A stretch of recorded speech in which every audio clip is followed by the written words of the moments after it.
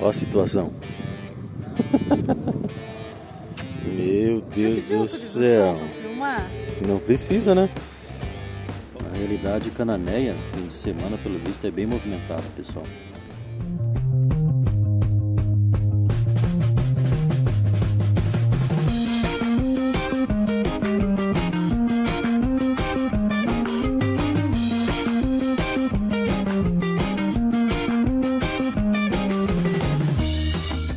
Acho que eu tô esquecendo a tainha.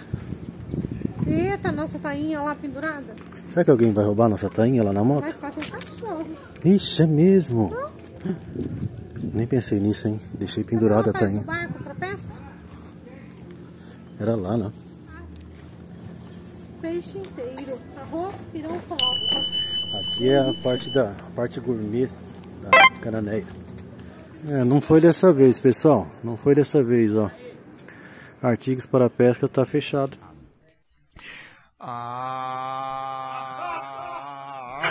Não vai dar para mim comprar o meu molinete.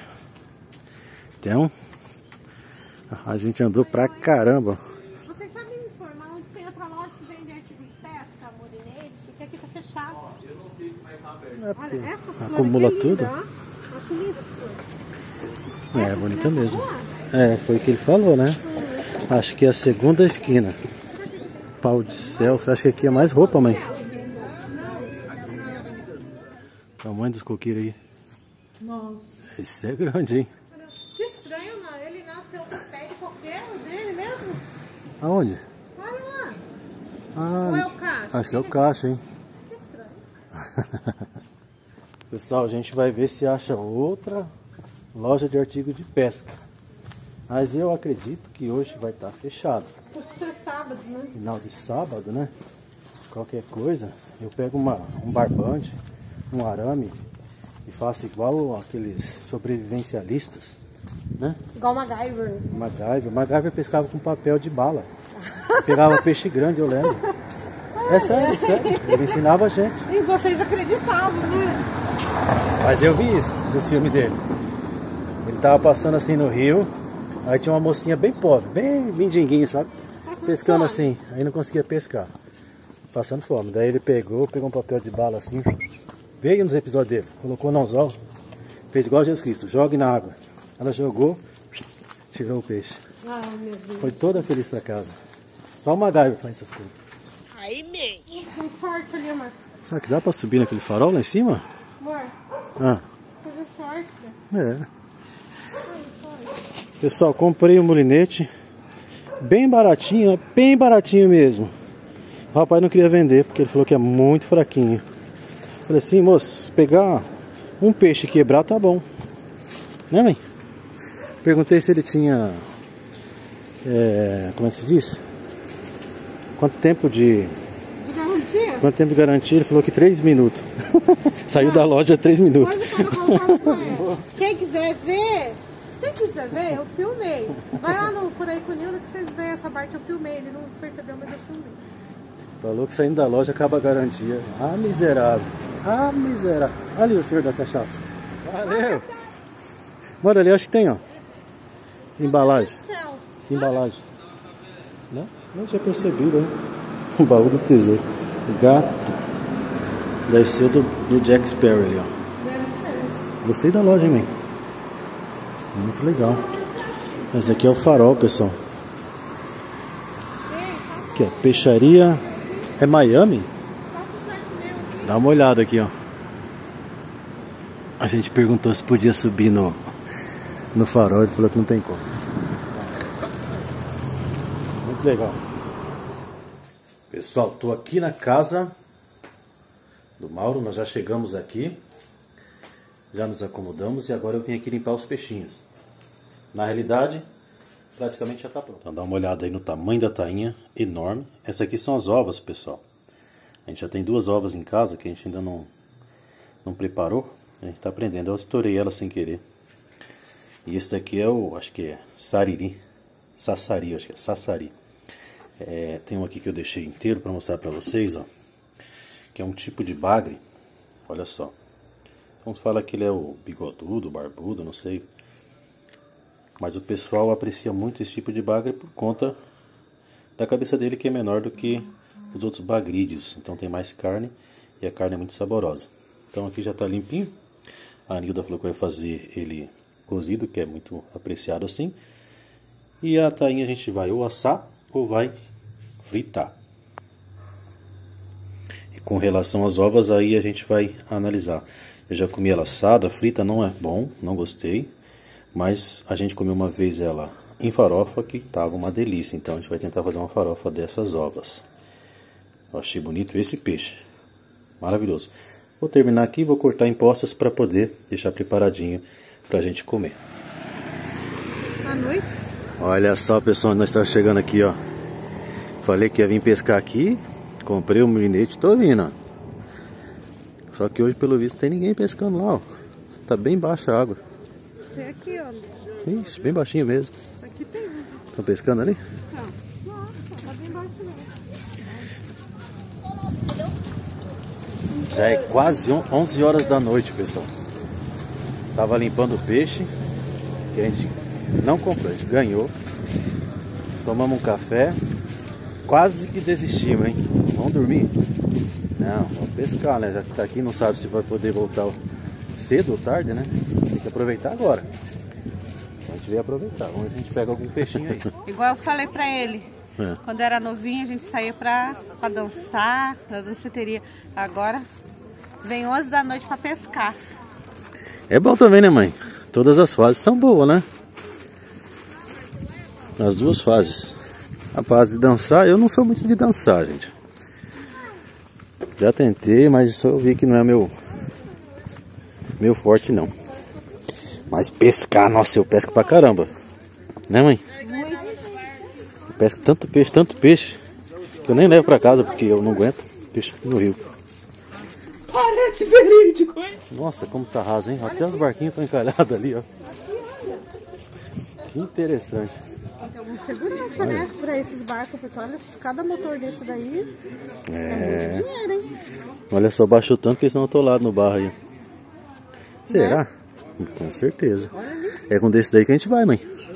Ui, que medo. É, e chega uma parte do mar lá, hein? Olha só. Será que vai valer a pena pescar tão baixinho, ó? Mas pra cá, ó. Pode cá. O banco aqui, não precisava coberto. É, eu falei pra você que tinha. Amor, eu falei pra você. Ah, tá, foi você. Desculpa. Dá até pra me deitar ali. Ó, não tá baixo aqui não, hein? Não? Não, aqui não. Lá acho que era melhor, né, mãe? Não, tá ótimo. Aqui mesmo? Nossa, como a água tá correndo pra baixo, ó. Ela tá indo pro mar. Por da maré. Deixa eu agora organizar as coisinhas aqui. Tem até uma garrafa de cachaça aqui, mãe. É sua? Alguém passou aqui, é vodka, eu acho.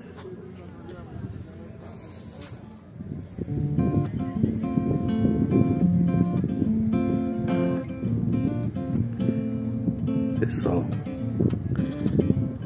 a maré tá bem baixinha e a água tá correndo muito rápido para baixo. Então mesmo com a chumbada grande eu não consigo manter ela lá no meio. Mesmo assim deu uns puxão bem legal aqui. Enquanto isso eu vou apreciando aqui, ó, e tá uma brisa bem fresca. Eu tô pescando com um filezinho de, de tainha, que eu peguei da tainha que a gente ganhou, uns pedacinhos vim aqui testar. Mas tá meio complicado. É só para passar o tempo mesmo. O bom é se não tivesse essa, essa esse retorno da maré que tá muito forte.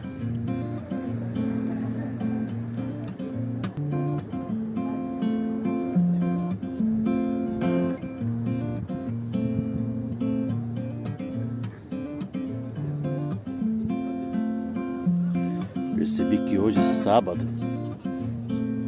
Toda hora tá passando jovem aqui. Vem beber, vem fumar. Toda hora, toda hora desce. É o ponte deles aqui.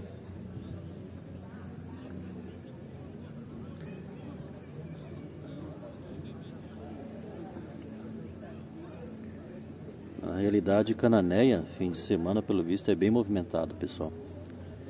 É um lugar que o pessoal aprecia muito, passar a noite, vir nos barzinhos, né? Então tem bastante isso.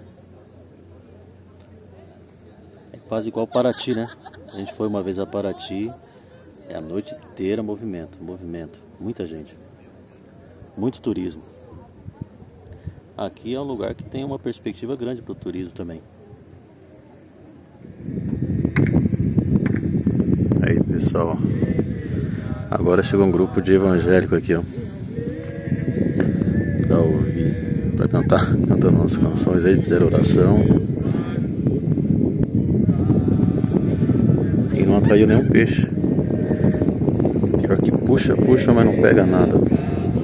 Deve ser alguns peixinhos pequenininhos. Mas eu fiquei na expectativa que eles puxam pra caramba. Olha lá, ó, ó. Já perdi um anzol lá na frente. Por causa das pedras. Aí voltei pra cá. Lá na ponta do, do deck. E agora tem um pessoal aqui evangélico cantando. É melhor que os cachaceiros que estavam aqui antes. O pessoal que veio pra fumar. É melhor esse grupinho aí. São bem animados.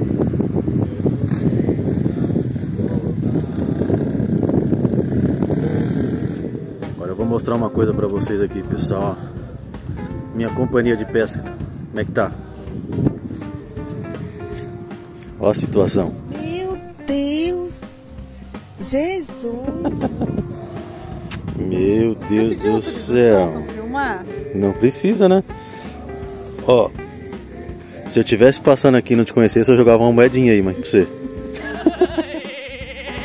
Tocadinho? Daria uma moedinha pra você, coitadinho. Ô. Tocadinho? Tocadinho? Tá friozinho aqui, mas eu não tô sentindo muito, Tá né? uma delícia. É porque eu tô-. Ah, é? Que eu tô entusiasmado aqui na pescaria, nem tô sentindo. E aí, tá gostando da cantoria?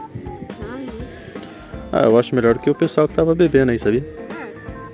Pelo menos tô animado ali, estão cantando, fazendo oração. Por mais que eu tenha meus valores, eu eu respeito muito esse tipo de, de atitude, porque a grande maioria são pessoas sinceras e buscam, né, com sinceridade alguma coisa boa pra si.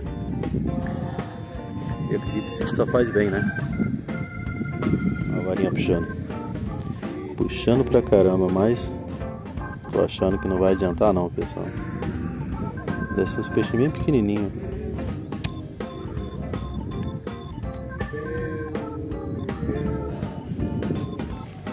Toda vez que a gente vem, aqui a água bate na, na parede aqui. Mas hoje está muito baixo. E puxou bastante, só que não consegui trazer nenhum. Então o jeito é pegar as tralhas aqui acordar a Nilda, que a Nilda tava roncando lá, pessoal. Não queria vir, a Nilda roncava, roncava. Falei, acorda, acorda, acorda. Tive que jogar um pouco de água na orelha dela. Aí acordou. Acordou de mau humor. Exatamente. Agora a gente vai pegar rumo de casa, que é quase meia-noite, falta um pouquinho. E amanhã cedo, aquela aventura, hein? Nós vamos conhecer Ilha do Cardoso. Olha o suspense, hein? Maravilha. Percebo que tem bastante gente indo pra baladinha. Tava. Pegamos dois quilos de peixe. Bastante. Meu Deus. Verdade. Muita gente indo pra baladinha, muita gente indo de igreja, pessoal. E eu percebo que a igreja, algumas igrejas evangélicas, se tornam um tipo de recreação também. Igual o grupinho que tava ali, cantando, animado, batendo palma, né? Então se tornou tipo um point de encontro, um local de encontro de jovens, né? E acho que as igrejas já promovem esse tipo de. Mano, a gente passou da moto já. Bastante. Vamos subir, vamos subir por aqui mesmo? Ah, tem a escada ali. Perdido em Cananéia. Não, eu não tô perdido aqui, eu achei que nem prestei atenção. Então, na realidade, eles precisam disso. A juventude precisa disso, né? É claro que tem que ser de uma forma bem respeitosa, porque acho que o contexto religioso, espiritual, tem que se ter muito respeito. Principalmente quando se fala de diversão, música. Claro que tem que ter, mas com muito respeito. Saímos. Eita! Tá certo que a pizza tem que chegar quente, mas aí é falta de respeito, né? Mas ele deu uma bambeadinha ali atrás, é, ó. eu vi. Você viu? Eles andam muito aqui na beiradinha, ó. Aham. Agora, Olha lá. Bicicletinha, mãe? tem. Ele quis andar aqui, ó. Fez assim, ó. Isso é um perigo. Quer comer uma pizza, mãe? Também não quero. Era só pra ser educado.